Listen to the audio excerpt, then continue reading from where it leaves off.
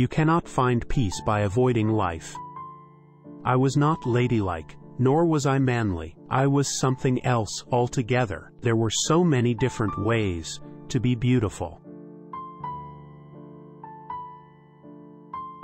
The secret of flight is this.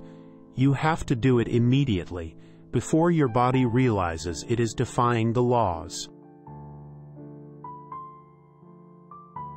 One always has a better book in one's mind than one can manage to get onto paper. Beauty is a whore. I like money better. There is a beauty in the world, though it's harsher than we expect it to be. These days, Clarissa believes, you measure people first by their kindness and their capacity for devotion. You get tired sometimes of wit and intellect, everybody's little display of genius.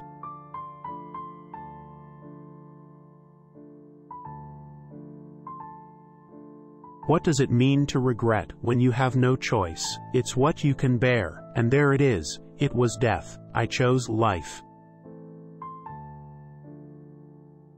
Dead. We are revealed in our true dimensions, and they are surprisingly modest. But there are still the hours, aren't there? One and then another, and you get through that one, and then, my God, there's another. Take me with you. I want a doomed love. I want streets at night, wind and rain, no one wondering where I am. She is, above all else, tired. She wants more than anything to return to her bed and her book. The world, this world, feels suddenly stunned and stunted, far from everything.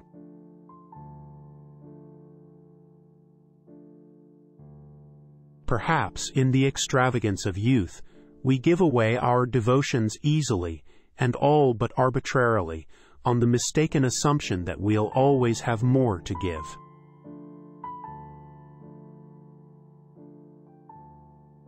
There is still that singular perfection, and it's perfect in part because it seemed, at the time, so clearly to promise more. This is what you do. You make a future for yourself out of the raw material at hand.